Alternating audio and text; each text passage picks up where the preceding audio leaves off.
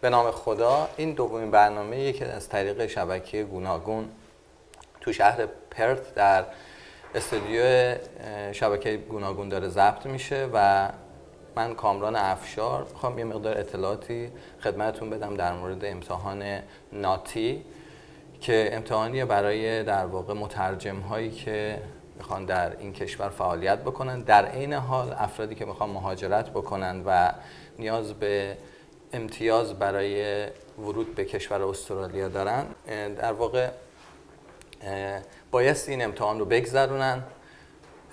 من یه اطلاعات کلی اول در مورد این امتحان بهتون بدم که در واقع این امتحان چه بخش هایی رو بررسی می‌کنه. این امتحان همونطور که می‌بینید اسمش هست ناتی National Accreditation Authority for Translators and Interpreters. این سازمان سازمانیه که در واقع به رسمیت می‌شناسه مترجم های کتبی و مترجم های شفایی رو در این امتحان ما دو بخش بخش پارا پروفشنال و پروفشنال داریم. بیشتر کسایی که در واقع من دیدم وارد اینجا میشن و می‌خوان این امتحان رو بدن خارج از استرالیا بایستی برای امتحان translation professional translation در زبان ما که فارسیه یعنی از زبان انگلیسی به زبان فارسی این امتحان رو بگذرونن این امتحان خیلی ساده دارای دو بخشه. تو بخش ترجمهش. دوباره تکرار می‌کنم برای کسایی که در خارج از استرالیا و داخل استرالیا هستن. این امتحان در مراکز بی برگزار میشه. IDP هم مخفف International Development Program که سازمان وابسته به دولت استرالیا است.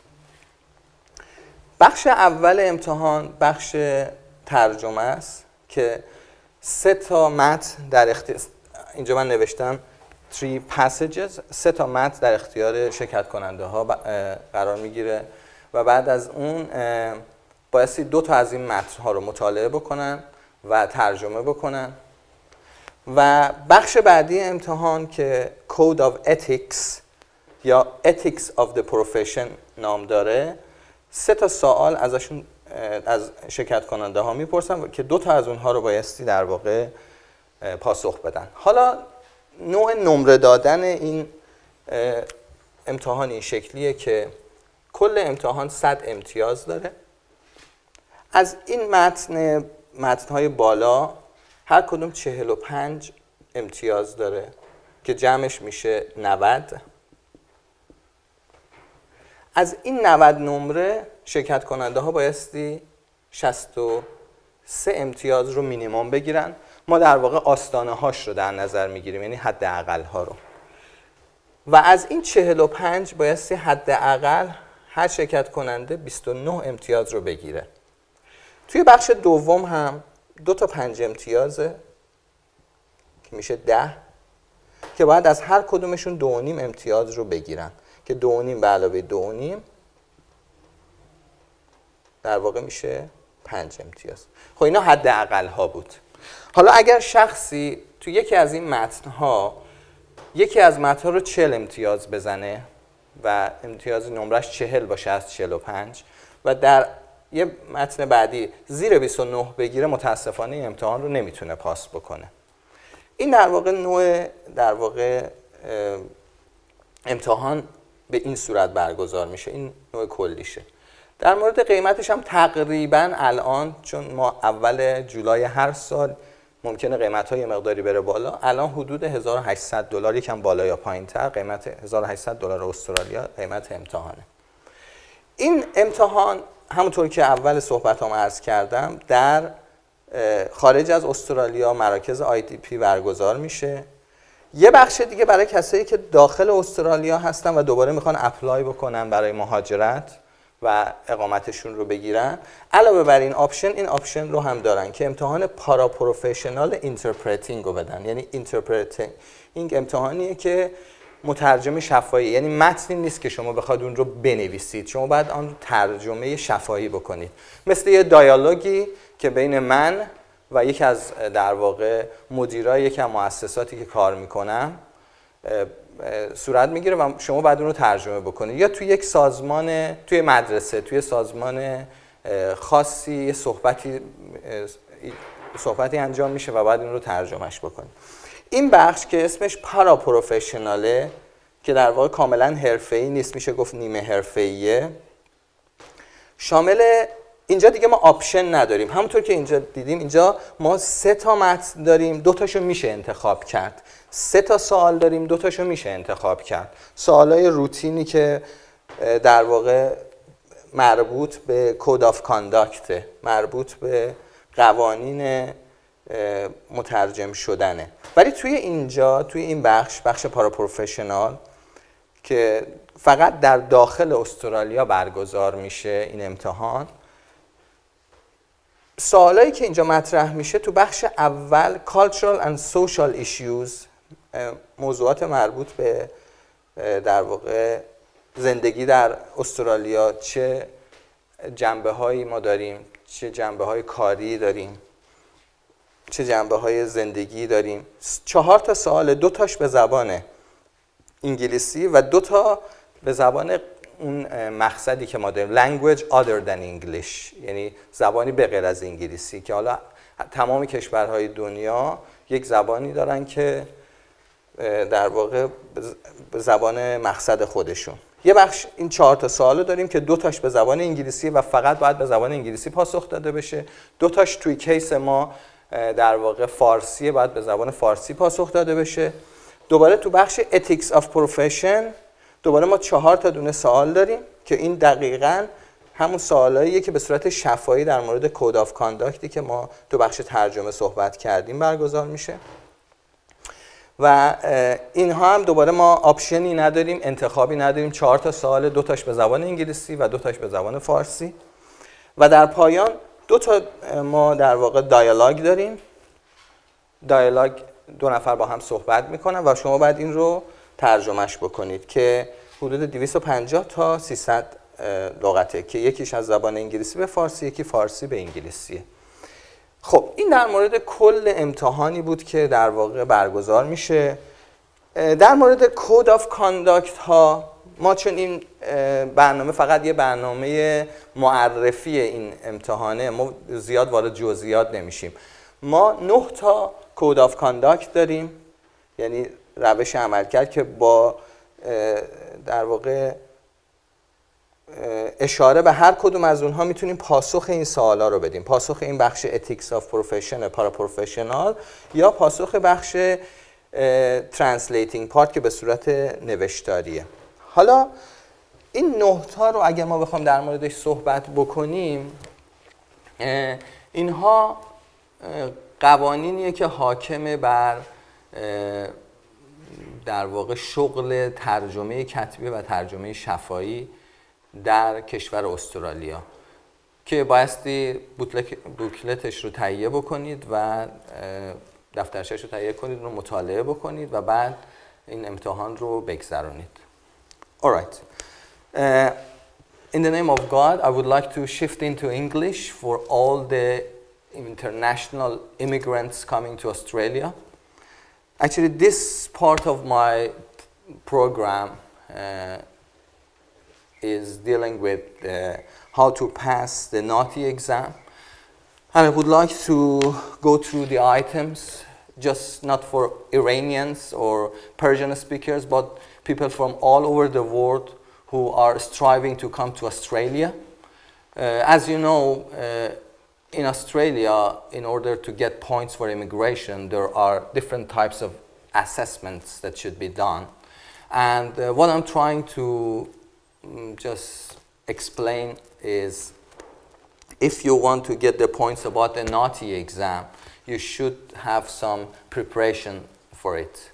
Uh, if you pay attention to the whole uh, whiteboard and the things that I have uh, written down, you realize that the, this naughty exam has got two parts. One is the uh, translating part and the other one is the interpreting part. Uh, in the translating part, you have to translate the uh, fact documents uh, or the passages from English into the language other than English. And it has got two ways. Normally, because most of the people are native speakers of language other than English, they prefer to pass the exam from English to language other than English because it's much easier for them to just translate and write in their own native language. So uh, those who are trying to pass this exam, there are some points that I'm going to teach and uh, instruct, uh, not in details, but it's just a general understanding what, of what this exam is.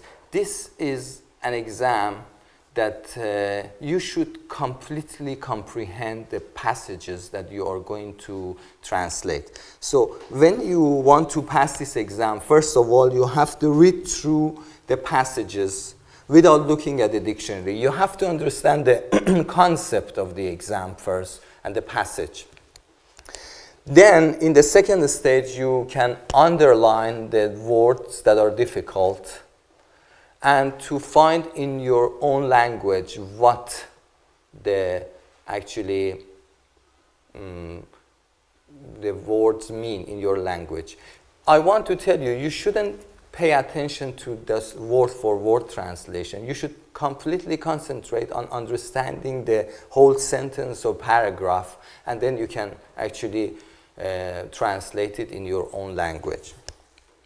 Then uh, after that, you have to have a proofreading. You have to read the translations that you have done very carefully to see whether it sounds natural in your own language or not. And then you can revise it by looking at some terms and some words. And finally, you can write the final copy for the, those parts that you have some problems. This is the part dealing with the, in fact, uh, translation. The other part that is called here code of conduct or ethics of the profession, this part deals with some ethical dilemmas or issues that you have being involved in translating job uh, in different uh, situations. So you are asked three questions and then you can choose two of them and then you can uh, actually respond to it. And the uh, advantage is that you can both answer in your own language, language other than English, or English language. Whereas in the paraprofessional interpreting exam or in professional interpreting exam, you just have the choice of uh, responding the questions in the language that it is asked. For example, if it is asked in English language, you have to respond in English. If it is uh, actually asked in Arabic, you have to just answer in Arabic. If it is asked in Japanese, you have to answer in Japanese. So uh, here, uh, regarding the code of conduct, there are two questions, two question, three questions that two of them should be uh, answered. You have the choice of answering in your own native language or English. And then there are nine code of conducts, you have to just get the booklet, learn it, and then use it uh, uh, actually in your responses. So that's all there is to it. And uh, at the end, I would like to just uh, give you my information. If you have any queries, uh, if you have any misunderstanding or any comments, you can be in touch with me with the in the, in fact, through the telephone number or the email that you can see at the bottom of the screen, and I would be at your service. That's all there is to it. And uh, finally, I have some words for the Persian speakers because I'm originally from Iran, so I would like to end my talks as I started with my own native tongue, and uh, I would like to say in Persian. این یک مقدمه بود برای گذراندن این امتحان و اگر خوب خودتون رو آماده بکنید من حس میکنم که کسایی که در فهمیدن متون انگلیسی و در واقع درک پاراگراف ها و خوندن مقالات و اینا دارای در واقع توانایی هستن می‌تونن این امتحان رو بگذرونن. و می‌خوام بهتون بگم که بایستی حتما برای امتحان خودتون رو آماده بکنید. بخش ethics of the profession رو بایستی حتما آماده باشید و مطالعه کرده باشید. سمپل بایستی خیلی بزنید. و این امتحانیه که الان به خاطر که افرادی که می‌خوان مهاجرت بکنن نیاز دارن که امتیازاتشون رو به اون آستانه برسونن معمولا بایستی این رو بگذرونن و این یک مزیتیه که می‌تونن ازش استفاده بکنن و این چیزیه که بایستی لحاظ بکنن. و در پایان یا اگر سوالی و یا در واقع نظری در مورد این برنامه دارید می‌تونید از طریق اطلاعاتی که می‌بینید از طریق ایمیل من و یا شماره تلفن من که در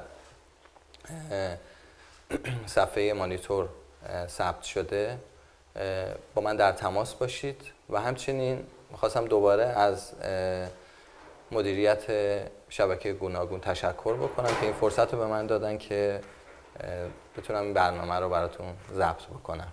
با آرزوی سلامتی برای همه شما در سراسر سر دنیا. متشکرم.